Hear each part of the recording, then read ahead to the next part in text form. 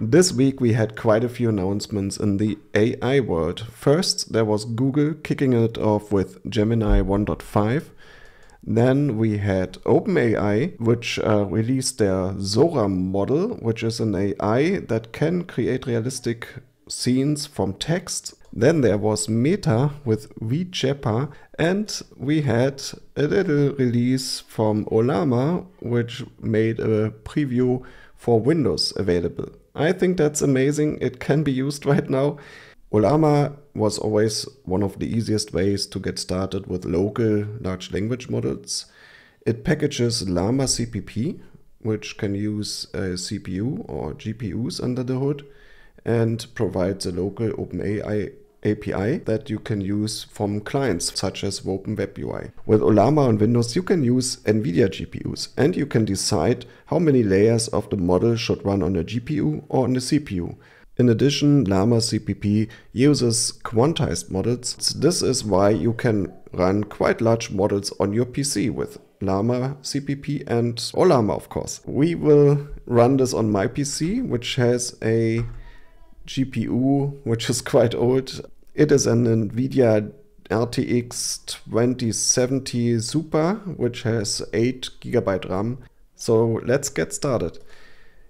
In this blog article, you can see how you can install it. Basically, it's just download Ollama on Windows, double click the installer and run it. When you want to use the GPU, you need NVIDIA drivers beforehand but I have them already installed. I think they distribute the CUDA toolkit, so it is enough to run it on top of the NVIDIA drivers only. I, I think it's installed now, hopefully. There it is already.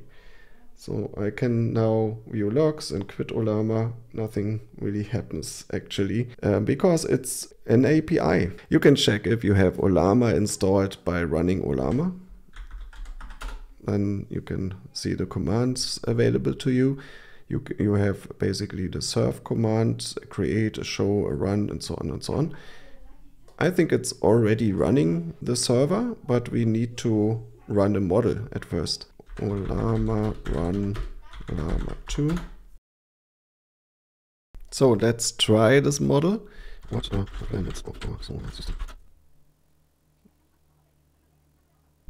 To show the tokens per second, you start the run command with the verbose option. Llama run llama 2 verbose. So,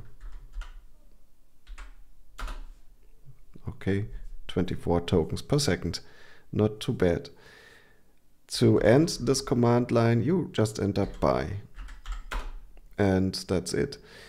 This is the easy way to get started using a large language model on your Windows PC. And there is a nicer way, which is using a web chat UI, like you maybe know from the OpenAI Chat GPT web client. There's the project called Open Web UI, and this gives you a web UI on your PC, which can also use Ollama under the hood. To install it, you need Docker on your system, so either Docker Desktop or maybe Rancher Desktop, for example, and then you can just run the command which is given on this README page, which is uh, here to on your computer. Use this command You can also use more than one model. When you run ollama list, you can see which models are available right now. As we have seen so many visual stuff in the news this week, I want to have a visual model at least in my video here. So I, I run this LLaVA model. That's it. Now I also want to run a model that's too large for my GPU. You can find the models on the Ollama website on the models area and we can maybe use Llama 2 but not the 7b model which is the default tag but the 13b model. You can see the default is when we run Ollama run Llama 2, it will run the tag latest, which is basically the same technical tech like the 7B model. When we want to run a larger model like this one, or maybe uh, the 13B chat, we can run Ollama run Llama 2, 13B minus chat. Let's start this one. So let's test this again. Okay, it works. Yeah, now we should be able to just run the Open Web UI. It is at localhost 3000, sign up, so that's it, got it. And I can also type in 42. Model not selected, ah, that's correct. Um, let's check the small one first, 42.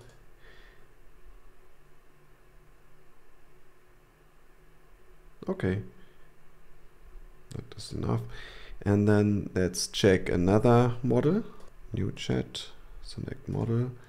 Now use the image model. Das Nama. What is this?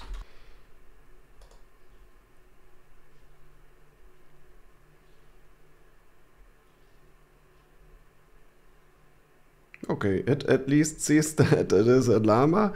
As you can see, Ollama is a nice and easy way to get started using large language models locally. It can use NVIDIA GPUs. Unfortunately, at the moment it cannot use AMD GPUs, but that may change in the future. Of course, you cannot just use it from this web chat but also from Python or any other client. The prerequisite is that the client supports the OpenAI API and then you can just use it. That's it.